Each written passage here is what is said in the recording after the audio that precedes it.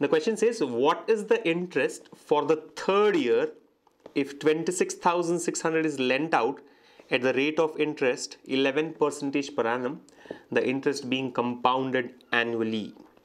And he says in approximate value. So thank him uh, for asking us to do an approximate calculation. He doesn't know that even otherwise we would have done an approximate calculation only, right? We are not used to doing complete calculations. Anyway, so what is the question? What is the interest for the third year, right? Interest for the third year if 26,600 is lent out at the rate of interest of 11 percentage per annum, the interest being compounded annually. So principal is given to you 26,600. The rate of interest is also given to you. How much is that? 11 percentage per annum. Now the time period here is one year. Let me tell you, time period is not three years. Many of you have taken three years and that is the reason you have got the wrong answer. Or I would say you are lucky that you have got the right answer but time period is not three years. Time period is one year. And this one year is actually the third year. He is not asking us to find out the interest for three years.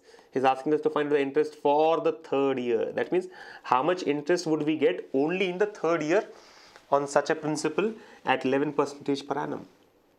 Right? Remember time period is one year. So how do we do it? Formula? Of course not. We don't use formula for answering such questions.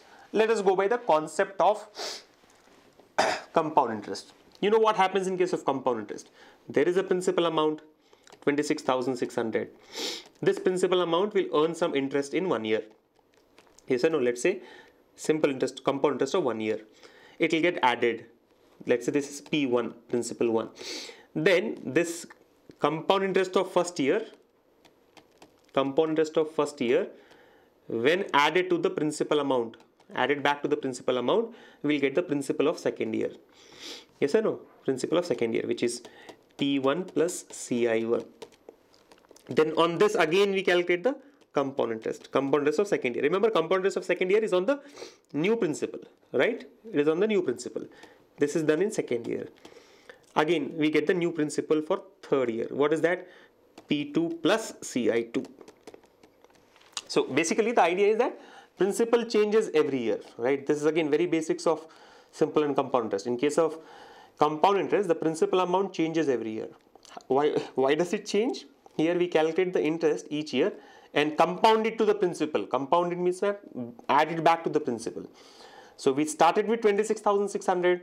At the given rate, we calculated the interest for the first year, add it to that principal amount. Now on this new principal amount, again we'll calculate the interest for second year. Again, go and add it to the second year's principal. You'll get the third year's principal and so on. This cycle would continue. We have taken a very simple example in our introduction video of simple and compound interest. You can refer to that to understand this process here. So basically principal is increasing each year because interest is getting added to the principal amount. so how do we solve this? Very simple. In one line, you can say that the answer is going to be as follows. He is asking us to find out the compound interest of third year, right? What is the interest for the third year? So CI of third year, right? Compound interest of third year. How much will we get in third year?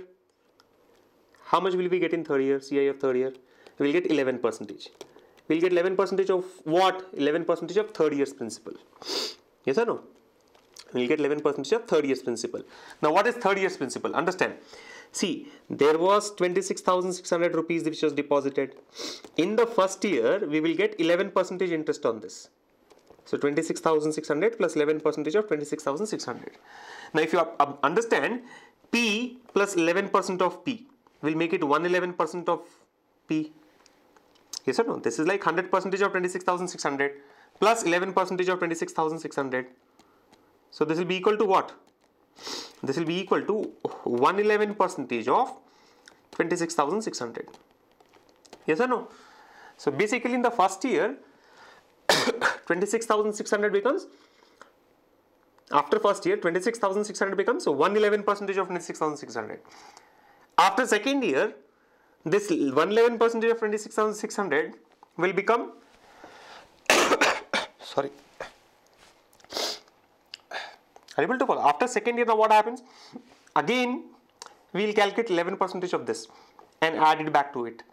So instead of calculating 11 percentage and adding 11 percentage again, can I directly say that this is going to be 111 percentage? This is this is P2.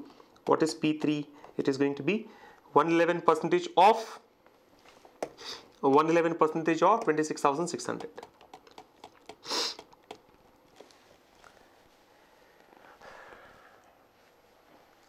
Right? 111 percentage of 26,600 is the principal of second year. 111 percentage of 111 percentage of 26,600 is the principal of third year. On this we have to calculate the 11 percentage value, right? So you can say this is equal to 11 percent of 111 percent of 111 percent of 26,600. Calculation is your lookout, you have to do that. Or there are there is one more way of doing it. What you can do is find out the total uh, amount for three years, find out the total amount for two years, subtract these two to get the interest of third year. You're able to follow. The other way of doing it is if you don't want to do this, if you don't want to follow this process, then you can go for a different process. What is that? Find out the total amount for three years. Total amount for three years. How do you find out total amount for 3 years? P into 1 plus R by 100 whole to the power of T where T equals to 3. Find out the total amount for 2 years.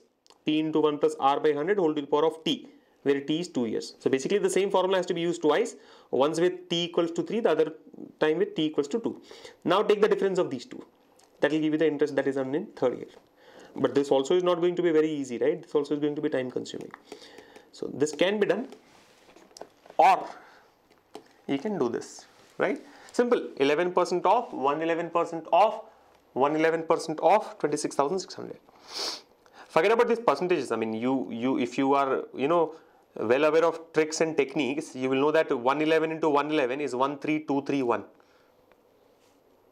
Yes or no? I mean, these are like very fancy stuff which are like very popular, right? You can say it is going to be 13231. Now that 13231 you have to multiply with 11 percentage. And then overall you have to take 26,600 as the principal value. So do this calculation and you will get the answer.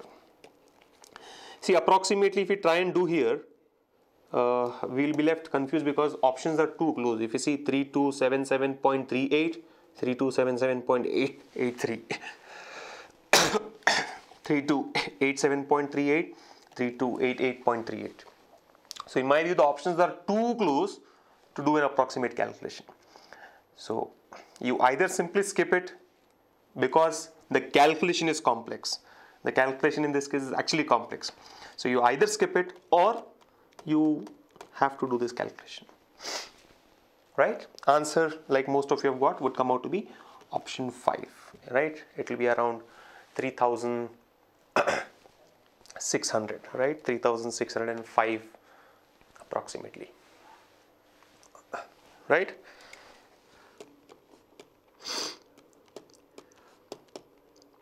again approximately meaning you have to do the complete calculation not that you will do approximate calculation but this is what you have to do 11 into 111 into 111 into 26600 divided by 300s because there are three percentages right so 300s. Can we do it by effective percentage? Yes, you can do it by effective percentage. Find out the amount for 3 years, effective percentage. Find out the amount for 2 years. Take the difference of those two and apply that percentage on 26,600. you getting it?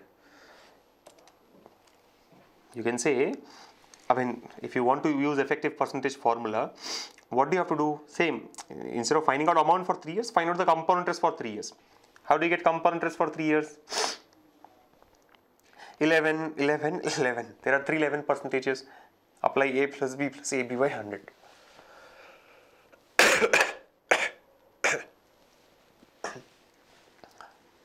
right? Apply A plus B plus AB by 100 twice then subtract that from the 2 years compound interest percentage and whatever value you get here take that value on 26600 Chalo, I hope all of you have followed this.